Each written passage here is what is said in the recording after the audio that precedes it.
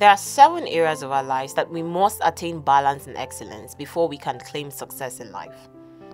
If one or more of those areas are successful, while the others lack balance, then we are not actually successful as we think. Proverbs 16, verse 11 says, A just balance and honest scales are the Lord's. All the weights of the bag are His concern, established by His eternal principles. It is God's will that we live a balanced life, excelling in every area of our lives according to our priorities in life. God does not want us winning in one area and then failing in the rest. The seven areas of our lives that we must achieve success by being balanced include our spiritual life, our relationship with God, finances, academics, career, family, relationships, and health. It is important to place these areas of our lives on a priority list, giving the most attention to the one that tops the list, while making sure that the others are not adversely affected or receiving no attention at all. Without balance in all seven areas, every other area of our life will be hit with its effects because all areas are connected in different ways. Number one, our spiritual life. This signifies our relationship with God. When our relationship with God is strong and going well, all other areas of our lives will tend to balance out. There's a common mistake that Christians make that seems to be right and normal putting God in front. We misunderstand Matthew 6, verse 33 that says, But seek ye first the kingdom of God and his righteousness, and all these things shall be added unto you when we place Him in front and try to do every other thing on our own without involving God in it. We are supposed to place God at the center of our lives, in the middle of everything else, because He holds it all together. As Colossians 1 verse 16 to 17 says, He was there before any of it came into existence and holds it all together right up to this moment.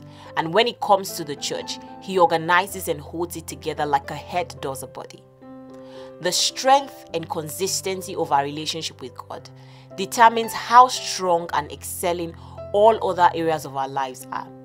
When we start failing in our relationship with God, backsliding, all other areas of our lives are affected. We can build a strong, intimate relationship with God by studying God's Word, spending time in prayers, meditating on His Word, becoming members of Christian communities, and participating in the activities, contributing to the move of the gospel, loving others as Christ loves us, just as we have been commanded to, spending time in worship, and making worship our lifestyle, not by singing worship songs, but by intentionally and consistently surrendering our lives to our Maker, living by example, and living out the glory of God as expected in Romans 8, verse 19. Number two, finances. Developing a balanced financial life is not just by increasing our finances and our monthly income. The basis of having an excellent and balanced financial life lies in how well we manage and take care of the finances and wealth that God gave us. Now, we can achieve this by educating ourselves on money management, buying resources, reading books, and joining communities that give sound financial advice. We can also achieve a successful financial life by building good saving and investment habits, creating and living with a budget so as not to go over our income and run in debts. It is also important to build the discipline to maintain these habits because we will not have the motivation every day to make wise decisions with our finances. We cannot be asking God for blessings and breakthroughs in our finances if we lack the knowledge and discipline to put it to good use. If our intention for seeking financial breakthroughs are selfish, God will not answer our prayers because just like James 4 verse 3 says, and even when you do ask, you don't get it because your whole aim is wrong. You want only what will give you pleasure. It is also important to understand and accept that God will not give us the blessings that we lack the character to maintain. So, while we ask for financial breakthroughs, we should also seek knowledge on finances so that we can fully utilize God's blessings to His glory. Number three, academics. For those who are pursuing an academic career path or whose career paths require certain levels of academic qualifications, it is important to have a balanced and successful academic life.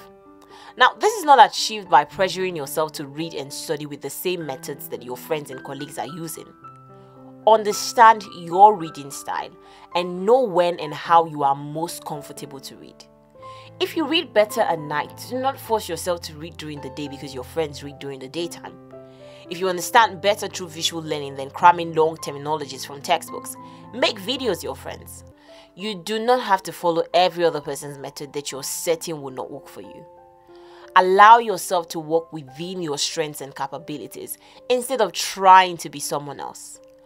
Also, while you work within your strengths, make sure that you are putting in your best effort at what you do. Maximize your time to work best for you. Study as hard as you can. And if academics is at the top of your priority list, make sure to give it your best shot. Put your best, put all your time and effort, and do not forget the God factor. Number four, career. It is an undoubted fact that with the current rise in technological advancements and digital trends, there's a shift in work environment and roles. The pandemic that shut down the world in 2020 was great evidence that in the next 10 to 20 years, a lot of people will lose their jobs as technology will slowly but fully take over. To beat this trend, one must seek to continue staying relevant in whatever field or industry he or she is involved in.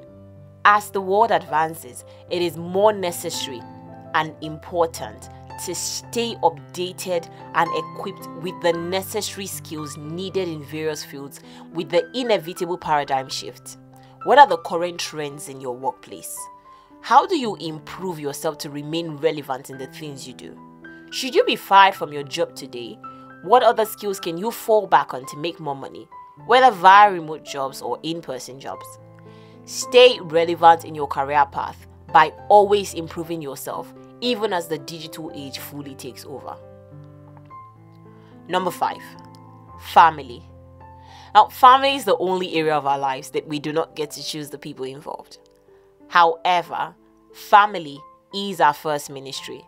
Not only the family we were born into, but the family that we will create or have created with our spouses. You may choose your spouse, but you cannot choose your children. It's very important that we take care of our family, treating them with love, respect, and dignity, just the way God treats us in His family of love. We should not look down on any member of our family, and we must treat everyone equally with love and respect. No one is more deserving of preferential treatment than the other. In family, the love of God leads. Number six, relationships. I once read somewhere that the quality of our relationships with the people around us is a reflection of our relationship with God. When we're in constant quarrel or disunity with our neighbors, friends, or colleagues, it shows that our relationship with God is having issues. Now, some people tend to look down on the people in their lives for various reasons, forgetting that God can walk through anybody to send us our blessings. It's important to always treat people nicely with love and respect. It's a flawed mentality to only treat people nice because you are expecting something from them or because you think in the future you might need their help. Everyone deserves to be loved and treated fairly, whether they have anything to offer in return or not. Number seven, health. The best investment that we can make today is investing in our health, especially as young people. When we start early or take care of our health, our future selves will be grateful because we will be saving ourselves from various diseases and disorders. Also, when we start investing in our health early by eating healthy, doing exercises, and staying fit, we are stopping ourselves from spending money in the hospital as we grow older. Taking care of our bodies is a great way to show gratitude to God for the gift of life. God bless you.